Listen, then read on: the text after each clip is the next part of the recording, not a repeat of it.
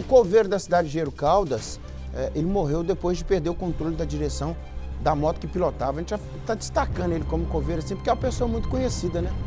O caso foi registrado na BR-116 e o Ivan Duarte está chegando para contar os detalhes desse caso. Por favor, Ivan. Boa tarde, amigo. Oi, Nico. Boa tarde para você também. Boa tarde a todos que assistem esta edição de segunda-feira do Balanço Geral. Você foi muito preciso. Ele era muito conhecido. Era o Fernando de Almeida Guzmão ele tinha 43 anos de idade e era o coveiro da cidade de Engenheiro Caldas. O acidente que o vitimou aconteceu próximo à entrada do distrito de São José do Acácio. De acordo com o boletim de ocorrência, ele trafegava em uma motocicleta na BR-116 quando perdeu o controle da direção da moto e caiu. Em seguida, foi atingido por um carro que vinha atrás e não conseguiu desviar. Nicomedes acabou o acertando. Fernando de Almeida Guzmão não resistiu aos ferimentos e acabou morrendo no local onde a tragédia aconteceu. O corpo dele foi encaminhado para o Instituto Médico Legal, aqui de Governador Valadares, passou por todos os exames de praxe e depois foi liberado para a família fazer o sepultamento de Fernando de Almeida Guzmão, muito conhecido na cidade de Engenheiro Caldas, que infelizmente foi vítima deste acidente de moto, Nico, na BR-116. A tristeza, né, Ivan? Conheço a região lá, né? Meu pai é de São José do Acácio, né? É um trecho muito perigoso ali, aquele entroncamento.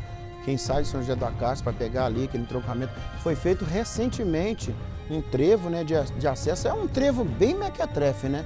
Bem mequetrefe para a pessoa fazer o acesso e ele não dá essa visibilidade toda, né? Ah, uma vez eu fui comentar isso aqui e falaram, você não é engenheiro? Não sou mesmo não, graças a Deus aí.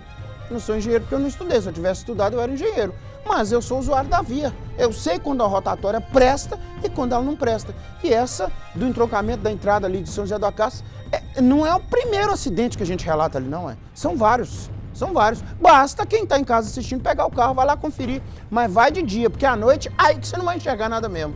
É, é impressionante, né? Que tristeza. E tristeza o fato de ser também uma pessoa já bem conhecida na cidade, né, Ivan? É, e, e exercer a função, nobre função é, de, de ser coveiro, que normalmente a pessoa pega as famílias no estado mais difícil delas, né? Na hora de, de fazer aquela última despedida do ente querido e o coveiro fica ali, né? É, com aquela, aquele misto de sentimento, cumprir a obrigação e ser solidário ao sofrimento da família. São várias as famílias, né? Que o coveiro convive com essa dor. Por isso a gente está destacando aí. O jornalismo tem essas coisas, né? É, dá destaque aí o fato de ser um profissional, mas é um ser humano como outro qualquer, né? É, que que deixa uma família entristecida por mais um acidente nessa terrível 116. Obrigado, Ivan. Daqui a pouquinho você está de volta aqui no BG.